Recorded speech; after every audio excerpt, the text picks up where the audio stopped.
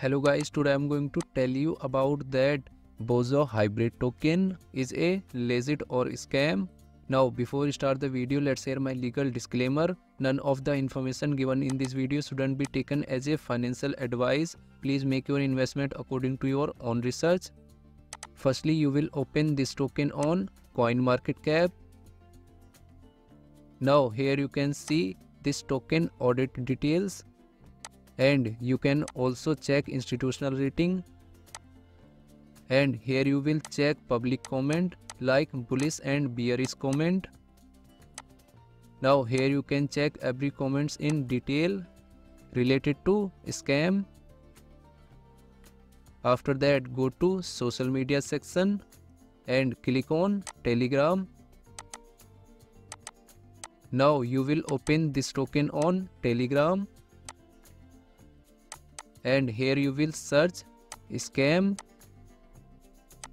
So here different comments is showing related to scam.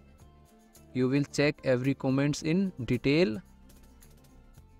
After that go to CoinMarketCap and copy this address. After that open dex tool. And here you will paste address then you will open this token.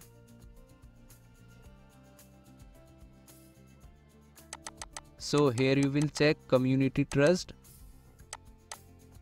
And you can see audit scan. Now here you can check buying and selling transaction detail.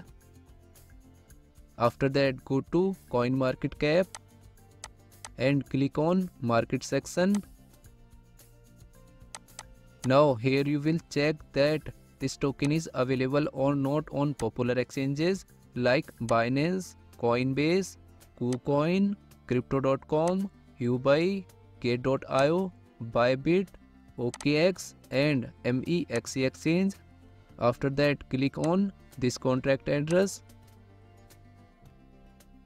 After that go to holder section now here you can check holders transaction details. If I share my opinion with you, then this project 35% chances is that it is a scam and 65% chances is that it is a legit or good project. So guys don't take my opinion as a financial advice. Do your own research for the investing. This project may be a scam. Thanks for watching.